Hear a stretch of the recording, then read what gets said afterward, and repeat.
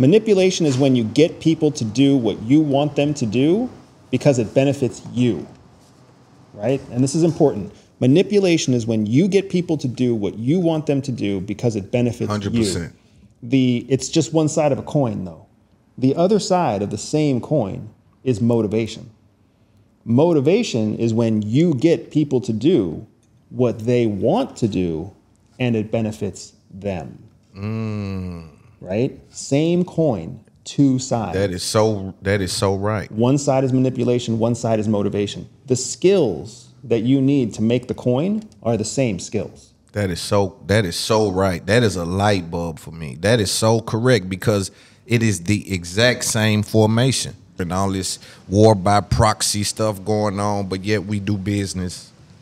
Like how like how weird is that? It's it's it seems when you don't have that new worldview, it seems like that wouldn't make sense. It would seem like those th- those things are in conflict.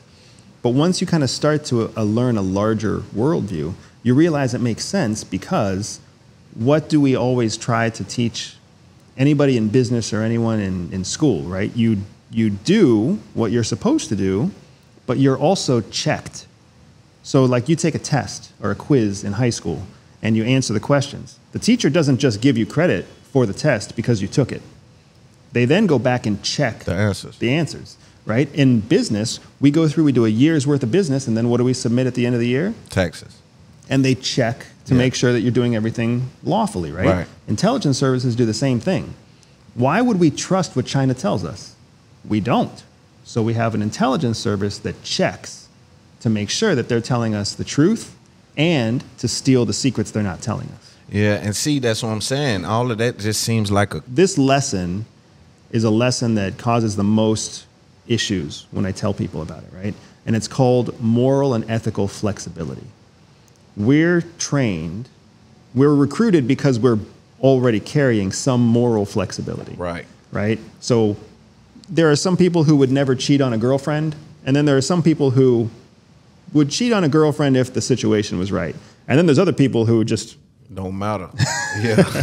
right? Flat out cheat. Yeah, so the CIA doesn't want the person who cheats all the time, and they don't want the person who cheats never.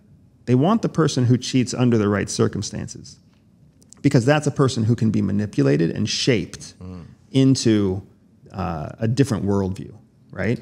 So that that ethical flexibility, that moral flexibility, is a really important element when CIA goes to find its intelligence officers. Just like you're saying the same thing. It doesn't feel right. Right. But the bottom line gets the benefit. Exactly. It's a better product. Exactly. It's a superior quality. Yes. So I'm going to do it even though it doesn't feel Makes right. Makes sense. Um, I've never heard CIA pick anybody from the ghetto.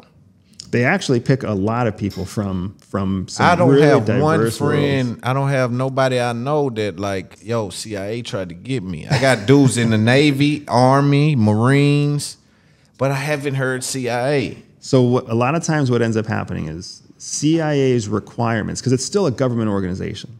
So that means you still have to have a really strict set of requirements that you meet before you can be recruited.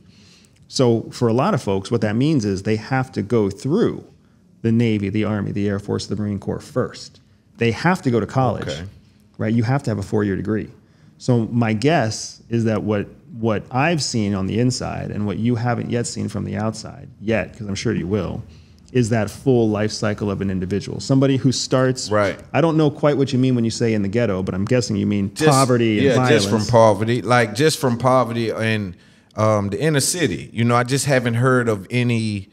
Uh, yo, man, I almost got recruited to the CIA, but like you said, I haven't get, given that time. Right. You know, it takes time to go get that degree. It takes time to be uh, you need years. Yeah, and maybe and then, that's what it is. And you also need to have people who get their life started without any kind of criminal record and they continue through those really difficult years without a criminal record. And coming from poverty without that criminal record. Which is difficult. Makes it a little harder, yeah. yeah.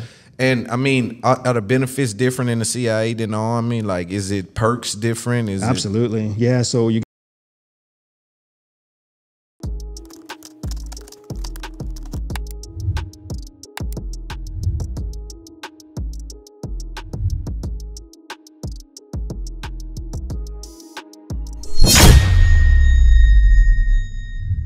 What's going on? It's your boy Big Loon. Right now, if you looked at this clip and you enjoyed it, hit subscribe. Watch the next video. We on the road to 100k subscribers on YouTube. If you're a fan, come to Patreon. We got exclusive videos there, and also the show with just me alone. Salute to the supporters.